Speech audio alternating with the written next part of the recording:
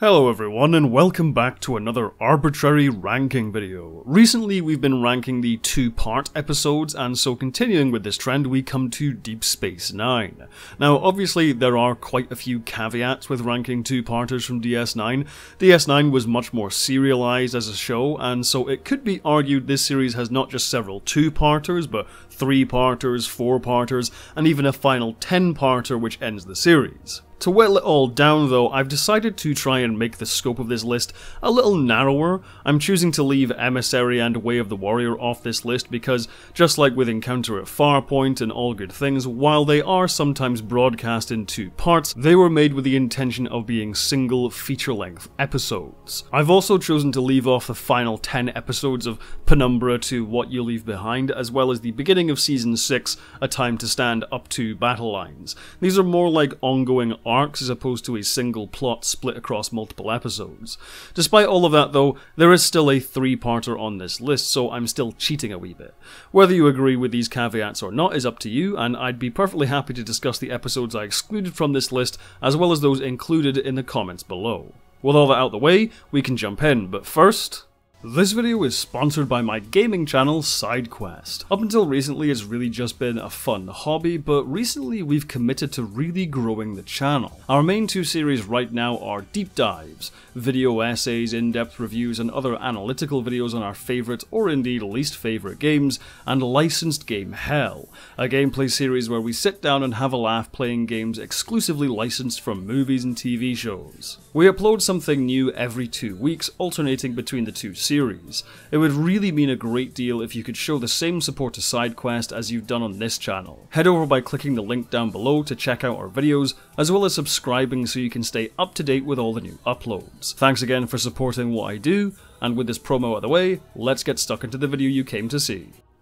Now, I'm cheating right away here with Homecoming, The Circle, and The Siege. Now, just as before, I should say I don't think any of these episodes are bad, I think all of them are good, it's just that some are stronger than others. This is the arc which really put DS9 on the map, the first ever three-part episode in Star Trek. In a way, this three-parter is like the trial run for what DS9 would later become. Long-running stories, huge ensemble casts, the main characters being forced to make morally difficult choices, etc. The only reason I rank this one last is because everything the three-parter does is done better later in the show. But even so, this really kicks season 2 off with a bang. Above that, we have Image in the Sand and Shadows and Symbols. Following up the shocking conclusion to Season 6 is by no means an easy task, but Image in the Sand, Shadows and Symbols does a fine job of getting us going with Season 7. The mystery surrounding Sisko and his search for another Bajoran orb is compelling enough, but the true highlight is Kira's standoff with the Romulans back at DS9. Seeing a whole squadron of Romulan warbirds bearing down on a loose collection of Bajoran trade ships and fighters is nail-biting to say the least. I feel like Ezri Dax does get lost in the shuffle though. She's a great character who does get her time to shine later on, but in this episode she pretty much shows up and then does not much of anything. It's a little odd. Other than that though, this is solid DS9. Next on the list is The Maquis. The Maquis is one of those instances where the DS9 writing team really went above and beyond the Call of Duty. The episode basically only exists to set up the Maquis for Voyager, and yet it's one of the best episodes of Season 2. This is really the first time the morality of the Federation and Starfleet is called into question, where we as an audience know our main characters are on the right side legally, but perhaps not ethically. On top of that, it's really DS9 doing what it does best, with plenty of character-rich scenes, unexpected unexpected plot twists and turns, and impressive action. The main reason I chose this above the Circle three-parter is the terrific antagonist Hudson. It's almost like the prototype for Sisko and Eddington, and I really wish we saw Hudson come back at some point. Above that, we have The Search.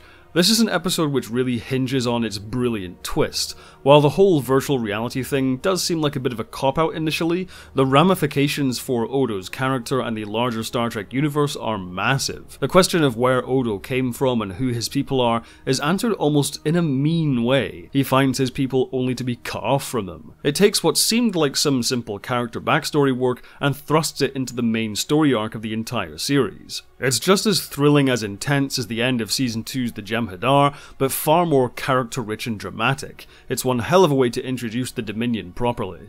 Which is why it's fitting to come to our next pick, in Purgatory's Shadow by Inferno's Light. Having set such a high bar for itself, this two-parter really messes with your expectations in such an engrossing way. By this point, we knew about the Dominion threat for quite some time, and having seen how epic the show could get with the Klingon arc, it's easy to believe you as a viewer know where this two-parter is going. We have this big galactic threat on its way and the major powers of the Alpha Quadrant massing around the station for an all-or-nothing battle. Although what we end up getting is is much smaller in scale, it somehow feels just as big. Worf going toe to toe with Ikat'ika, Bashir being outed as a changeling, and the mother of all twists, Gul Dukat switching sides to take over Cardassia and secure his place as the best villain in Star Trek history. Although that all or nothing battle would come, laying in these extra twists raised the stakes higher than we could ever have imagined. However, next up is a much more intimate story with past tense.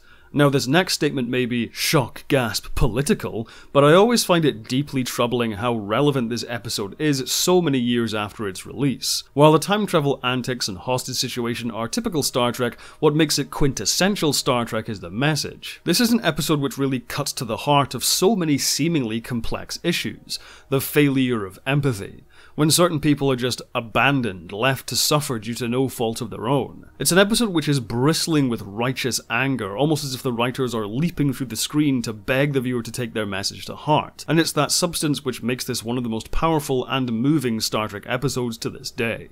Above that, we have Improbable Cause and the Die is Cast. Three words make this episode great Odo and Garak.